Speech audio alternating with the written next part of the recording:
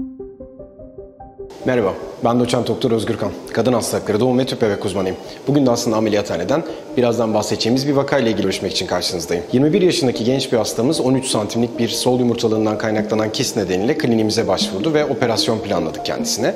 Aslında biz de bu ameliyatı laparoskopik olarak yani kapalı yaparak hem hasta konforunu hem ameliyattaki süreyi daraltacağız. Buna bağlı olarak da hastayı daha erken bir taburculuk ve daha rahat bir ameliyat sonrası dönem planlamaktayız.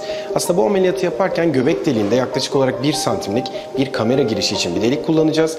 İki kasık bölgesinden ise yarımşar santimlik sadece kesilerle ameliyatı yapabileceğimiz kolları içeride kullanmak üzere hazırlayacağız. Takiben yumurtalık kistinin önce içerisindeki sıvıyı boşaltıp bu kisti daha kolay çıkarılabilir hale getireceğiz. Sonrasında ise başta bahsettiğim gibi çok genç bir hasta olması sebebiyle yumurtalık rezervine herhangi bir hasar vermeden olabilecek minimal düzeyde ısı enerjisi de kullanarak herhangi bir yumurtalığa yönelik bir patoloji yaratmadan sağlıklı yumurtalık dokusundan aslında bir tür soyarak çıkaracağız. Sonrasında da ameliyat başında kullandığımız o bir yarım santimlik deliklerden de patolojik inceleme için kisti dışarıya alacağız.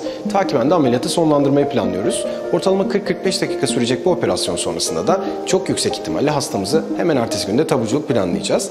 Aslında laparoskopinin bu kadar jinekoloji pratiğinde sık kullanılmasının en büyük avantajı bu gibi kistik olgular. Çünkü daha öncesinde bu teknoloji yeterince gelişmemişken açık olarak izlenen yapılan bu ameliyatlarda tabii ki hasta konforu biraz ne yazık ki düşük oluyordu.